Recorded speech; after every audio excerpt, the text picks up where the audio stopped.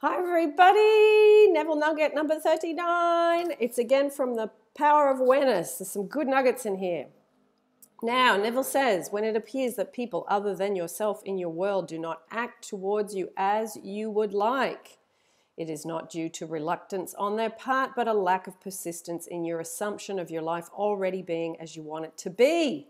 Your assumption to be effective cannot be a single isolated act. It must be a maintained attitude of the wish fulfilled.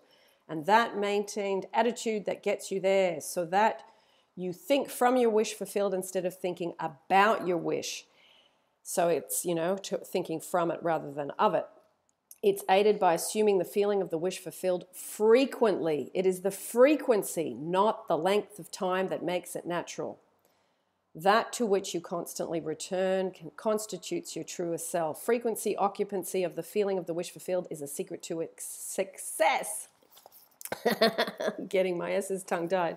So, frequency, frequency, frequency, frequency. Do it, do it, do it, do it. Believe you love, believe you love, believe you love, feel you love, feel you loved, feel you loved, feel you loved. Feel you're wealthy, feel you're wealthy, feel you're wealthy, feel you have the most amazing job you've ever had.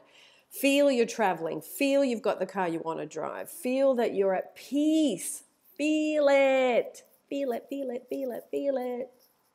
Okay? That's all I got to say today.